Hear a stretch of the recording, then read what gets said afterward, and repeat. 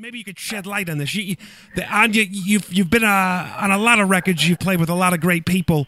You got a credit, or uh, maybe you don't have a credit. You sang background vocals on a John Lennon album, the rock and roll album. Is Yeah. what what's the story behind that? Because you didn't get a, a, an album credit on that, but you how did you slide in there and, and, and, and get on this recording? Well, that's good. That's uh, quick. Yeah.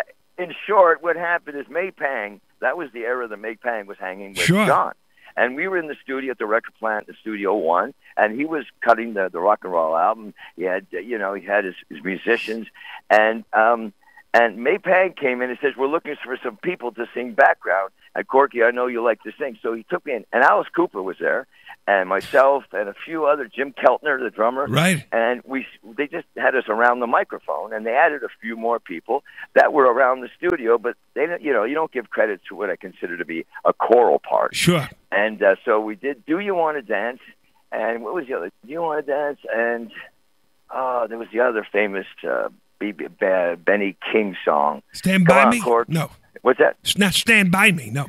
Stand by me. You're good. Oh. You get you get you win. Stand by those two songs. So what happened is we're all sitting around the mics and standing and had having a great time. And May Pang was there, so she really organized the background singing on that. Wow. And and at the time, I don't know if you know about it, Eddie, is that he wasn't particularly happy having to you know to record that record. That was a, a contractual Sure. kind of obligation.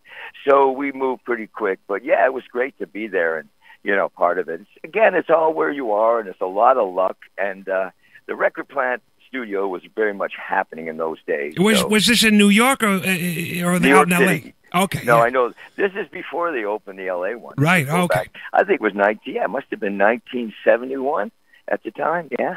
I you think? I think so. I think she. I think that he was with Ma- uh, May around like 73, 74, if I'm not mistaken. You, I think you're right. My my timing is a little bit off as a drummer. Actually, my timing sucks. I don't. You know, I know. I remember everything. I just don't know when it happened. Sure. I just, you know, I could see it.